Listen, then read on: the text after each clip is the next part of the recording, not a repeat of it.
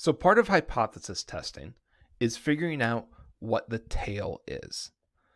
And what we mean by that is that every single hypothesis test will either be a one tail or a two tail test.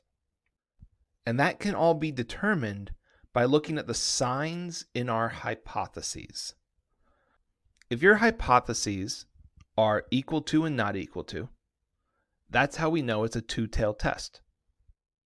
If you have greater than or less than in your hypotheses, then it's a one tail test.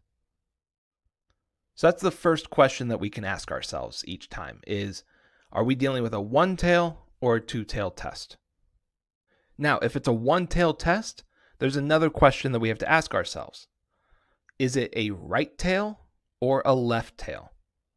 So for that answer, we're going to look at the signs in our alternative hypothesis.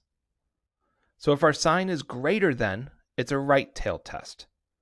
If our sign is less than, it's a left tailed test. But notice how these signs almost look like arrows.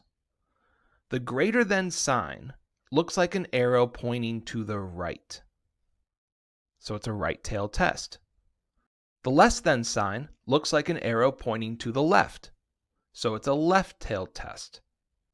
Now, why is any of this important? Knowing the tail allows us to know where that rejection region is going to be on our bell curve.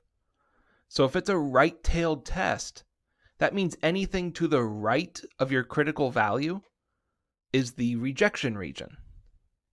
And if it's a left tailed test, anything to the left of your critical value is your rejection region.